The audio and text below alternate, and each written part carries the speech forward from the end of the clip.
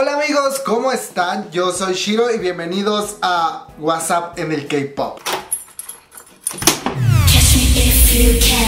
Antes que nada les quiero platicar un poco sobre la dinámica de estos videos que voy a estar subiendo por lo menos cada semana. Sí pretendo que por lo menos cada domingo a la misma hora haya un video. La idea de estos videos es que podamos estar ustedes y yo platicando sobre temas que sean muy como relevantes dentro del K-Pop. Estos videos, aunque son noticias, pretendo que no sean como tal una noticia, sino más como comentar y dar mi opinión acerca de algunos temas que voy a seleccionar durante la semana, ¿vale? Independientemente de los videos que subo durante la semana, que son específicamente de noticias y que en esos no puedo dar como una opinión o fijar mi postura ante esas noticias porque es como más objetivo y que no salga tanto mi fanatismo. Y, y en estos videos sí, eso es lo que va a haber de sobra. Mi lado fan, mi lado de lo que opino acerca de ciertas cosas y pues nada, tal vez de repente salga un poco de arena, siempre. Y el primer tema del que vamos a hablar hoy es de Pay Entertainment eh, y todo lo que sucedió después de que un medio de comunicación coreano, ya saben, un medio muy famoso y que es muy popular dentro de los fans, que es como el TV de Corea del Sur, que es como el ventaneando de por allá que se dedica mucho al amarillismo, sacó unas fotos hace un tiempo y un reportaje sobre que el CIO de Pay Entertainment estaba como envuelto en una secta religiosa no muy bien vista allá en Corea del Sur, básicamente que era satánico el hombre. Ay no, todos espantados porque el hombre tenía pactos con el diablo. Él salió a su defensa en Instagram y dijo, ¿saben qué? Basta. Espérense tantito, no es justo que estén dañando mi imagen y la de mi agencia y de mis artistas. Les voy a explicar cómo sucedió todo. Y entonces él explicó en otra entrevista que todo se había tratado de una reunión que había tenido con un amigo y ese amigo llamó a otro amigo y ese otro amigo llamó a otro amigo y ese otro amigo a otro amigo y así se hizo una cadenita y terminaron siendo bastantes personas las que se reúnen cada cierto tiempo en un determinado espacio donde según el CIO de Pay dijo que se reúnen como que a leer la Biblia, a cantar, a hablar sobre religión y a dar como sus experiencias. Obviamente los coreanos ya habían hecho una revolución en internet diciendo que con razón había subido tanto las acciones de su agencia si tenía pacto con el mismísimo, una secta que la sociedad no acepta. Ellos dijeron que no, que Park Jin Jung, que es el CIO de Pay no tenía nada que ver con ellos, que no estaba afiliado, que no sabían de, nada que tuviera que ver con el Señor. Yo cuando lo leí fue como, ¿what?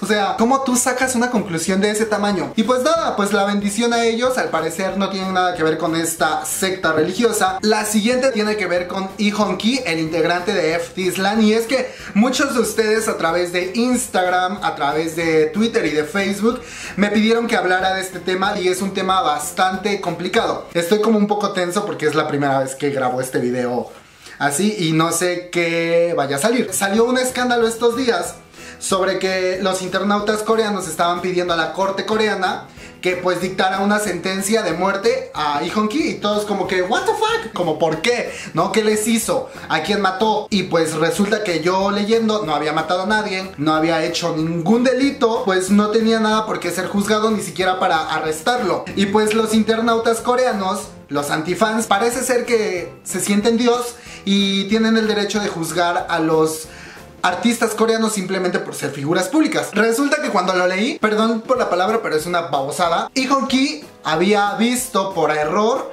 una transmisión en vivo de un señor que se llama BJ Chulgo, que es al parecer como un personaje no grato en Corea del Sur, de hecho lo odian, y es uno de estos personajes que se dedica a hacer transmisiones en línea. Aparentemente Lee Ki vio una de sus transmisiones y el público coreano asumió que por ver un streaming el señor ya pensaba igual que este otro personaje. Y se le fueron encima a Ihon ¿eh? porque, o sea, yo cuando, lo, cuando me dijeron fue como, no, esto no es verdad. Pero ya después muchas páginas empezaron a sacar informes que era cierto que los internautas coreanos estaban pidiendo a la corte que lo mataran. Ihon Ki explicó que había visto por error esa transmisión. Cuando tú abres una red social, te aparecen todas las transmisiones. Y él por error, eh, pues vio, o sea, haga de cuenta como en Facebook Tú vas viendo tu feed y de repente se inicia un video a reproducir sin que tú le piques, sin que tú le des clic, nada. Así fue como sucedió. Él dijo que no era su intención y que además, escuchen esto, esto sucedió hace dos años. Y los coreanos hasta ahorita están reaccionando. Y Honki empezó a decir que él en ningún momento comparte ninguna de las ideologías de este señor BJ Chulgo. Pero después los coreanos se le fueron encima por cómo él respondía a sus seguidores en Instagram.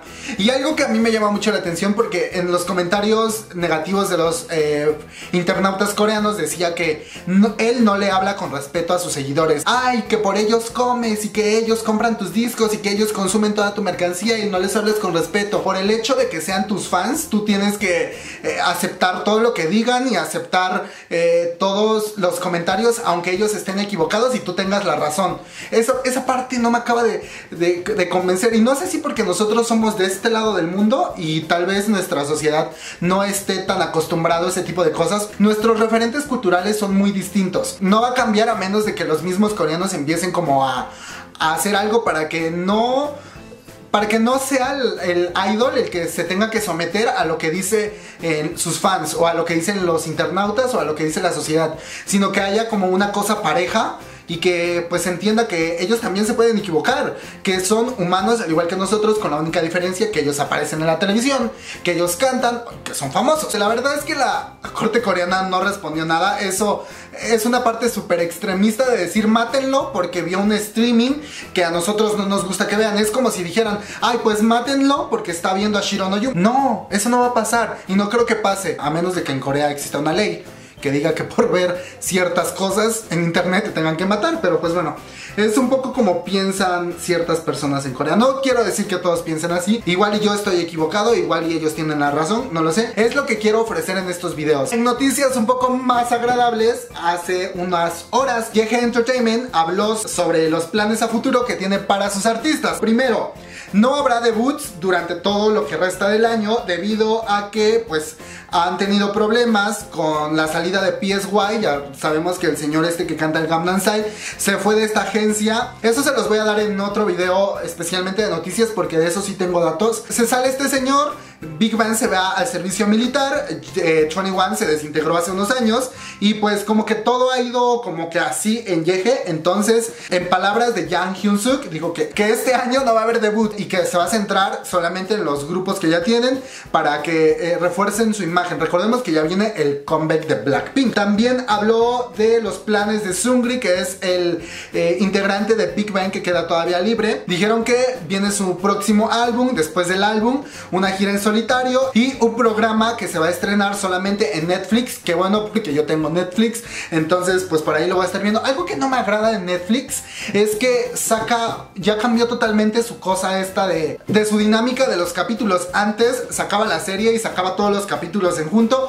ahora no, ahora saca un capítulo cada semana y entonces estoy viendo una serie coreana. Me tengo que esperar a cada jueves a que salga un mugre capítulo cuando yo ya sé que la serie ya terminó en Corea del Sur. También se disculpó por no hablar del y de otros eh, miembros de la agencia que de ellos todavía no tienen planes. Según yo sabía que eh, Lehigh tenía ya mm, planes de regreso y eso sí me molesta un poco, señor Yeje. Yo espero con muchas ansias el regreso de mi niña adorada, de mi Lehigh. Ya hasta estoy sudando del coraje. La siguiente noticia tiene que ver con el movimiento Me Too. Recordemos que el movimiento Me Too surgió en Estados Unidos, eh, en Hollywood, de las actrices que se quejaban de los de las acciones de acoso sexuales que tenían por parte de los directores y, por parte de sus compañeros del reparto del casting de las mismas películas en las que trabajaban, que les pedían favores a cambio de darles papeles en las películas que estaban produciendo. Resulta que también a Corea llegó el movimiento Me Too que tiene que ver justamente con todo el, acoso sexual hacia las mujeres. Hace un tiempo yo hice un video de la postura de esto en Corea del Sur. Antes de que existiera este movimiento Me Too, Corea del Sur ya empezaba a tener tendencias a que las actrices se quejaban del el acoso sexual por parte de directores y de actores. Pues bueno, ahora después de que todo el movimiento cobró más fuerza en Corea del Sur, los encargados de las producciones coreanas como dramas especialmente hicieron modificaciones a sus contratos y es que las televisoras y productores coreanos incluyeron una cláusula en los contratos coreanos donde dice que si un actor se ve involucrado en una denuncia de acoso sexual, el actor va a tener que restituir el daño a la producción por el daño que cause a la imagen y a la producción.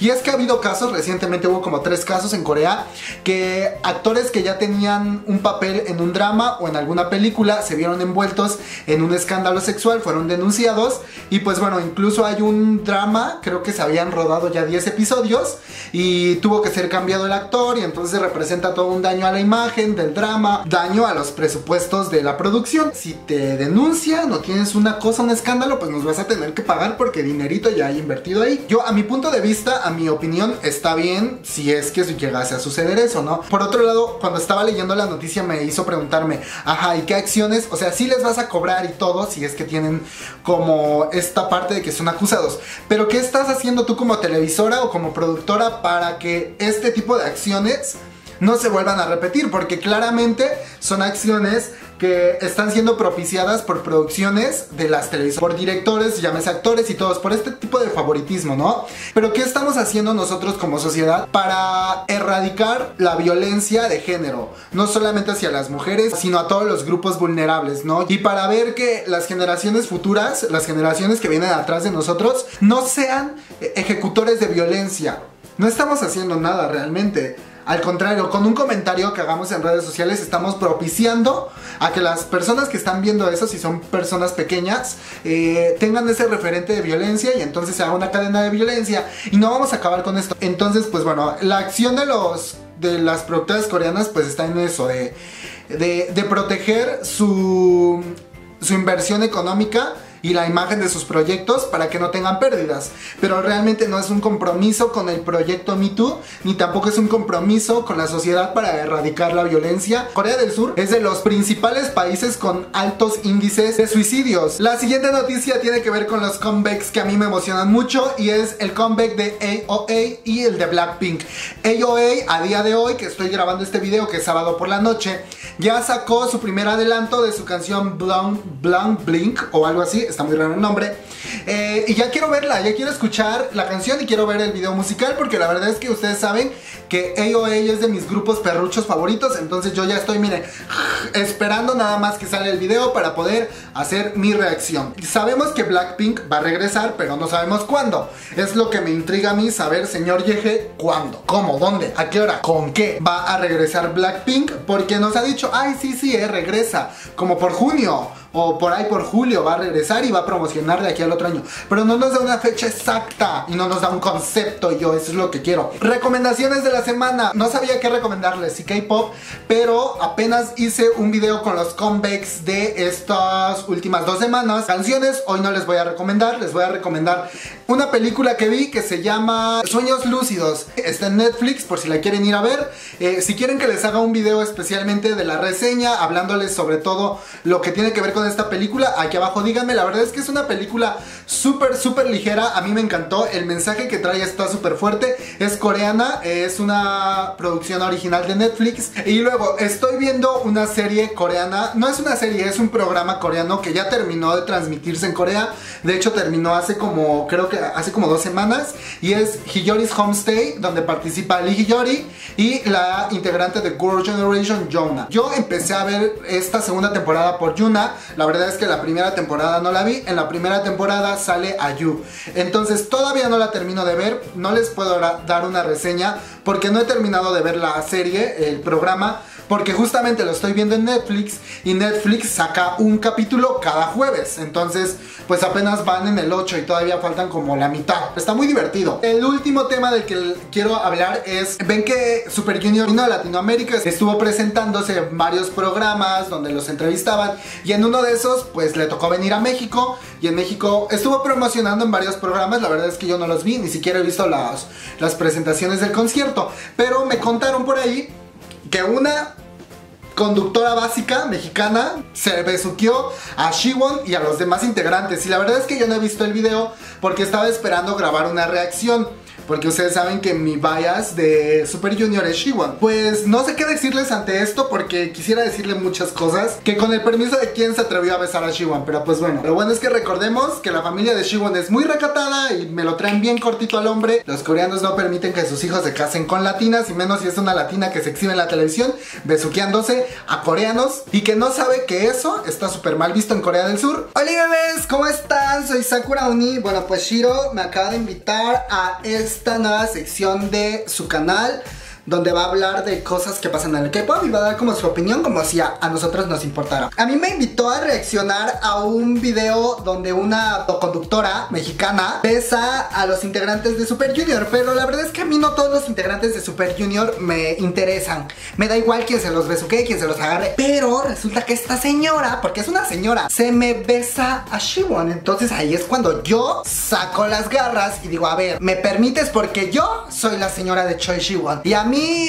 estas cosas no me están gustando. Chihuahua, estas cosas que estás haciendo no me están gustando. Ya hasta estoy temblando, híjole, me va a empezar a brincar el ojo del coraje, ¿ya viste? Parece ser que no lo besó durante el programa, sino una transmisión como un detrás de cámaras. Y ahí está bailando ella, empezó, ok, se lo agarró. Él se dejó, a ver, como por qué te los sabroseas, es que, ¿qué pasa? No, yo nada más llego a Corea del Sur y voy a echar pleito porque yo no había visto eso. Bueno, le da vuelta ahí, él como que no sabe, ahí se agacha, ahí está. Bitch. Él se sorprende, a ver, quiero ver otra vez eso. Y va y todavía la, la abraza como agradeciéndole. Se sorprende él, si se sorprende porque pues no se lo esperaba. Va, la abraza, le dice como que, ajá, para que no se vea mal. Y todavía ella, ella sabe lo que hizo, ella sabe.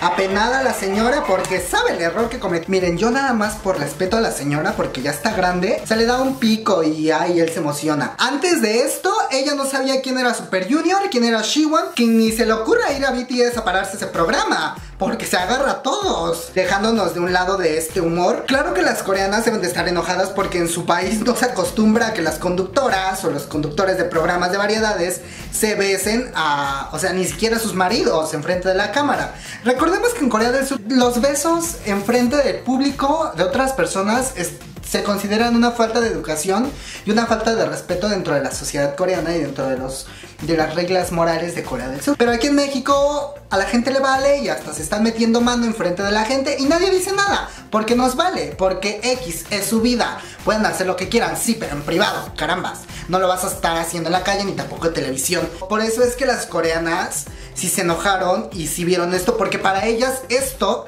es una falta de respeto. Uno, ahí yo como Sakura Oni, como señora de Choi Shiwon, si estoy molesta, voy a pedir una explicación de esto cuando yo llegue a Corea del Sur, al apartamento con Shiwon. Yo no te mandé a México para esto. Yo ahí quedo como dama. La verdad es que voy a tratar de que este video no salga demasiado largo Pero si les gusta este tipo de videos Acá abajo en los comentarios díganme Igual denle mucho like a estos videos Y en los comentarios déjenme eh, temas de los que quieren que hablemos O si no también en Twitter Mándenme alguna nota y díganme Ay mira Shiro esto salió necesitas comentarlo En el video de WhatsApp en el K-Pop Porque así se va a llamar esta sección. Ya tenemos hashtag Team Coreano Que es lo de noticias Tenemos el diario de una diva que es el de Sakura Uni Y pues nada me dio gusto estar con ustedes en este video y nos vemos hasta el próximo, ¿vale?